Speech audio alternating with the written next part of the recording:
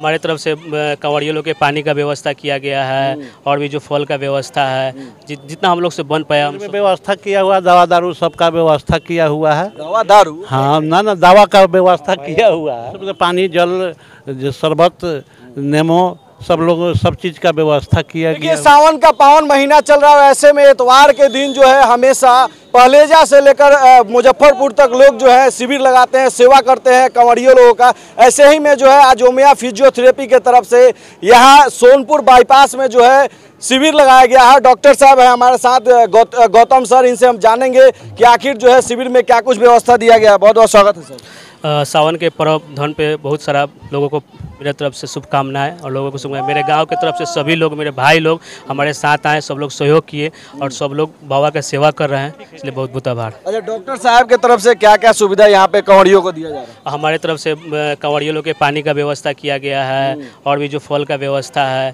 जि, जितना हम लोग से बन पाया हम सब लोग को लेके लिए सेवा करी पड़ है। अच्छा मेडिकल टीम भी यहाँ पे है? हाँ मेडिकल टीम भी है और हमारे साथ में भैया लोग सबको ही हैं और सब लोग की तरफ़ से सिविल के सब मेडिकल टीम भी बैठे हैं। तो देखिए एक काका है इनसे जानते हैं चाहे क्या क्या शिविर में व्यवस्था किया गया? शिविर में व्यवस्था किया हुआ दवा दारू सबका व्यवस्था किया हुआ है। दवा दारू? हाँ ना ना दवा का व्यवस्था किया हुआ है। हाँ। जाने ना सिविल दवा दवा का व्यवस्था किया गया। और क्या क्या कंवरियों को सुविधा दिया सब पानी जल जो शरबत नेमो सब लोग सब चीज़ का व्यवस्था किया गया हुआ है। सब चीज़ का व्यवस्था किया किया मतलब प्रत्येक साल ऐसा किया हाँ।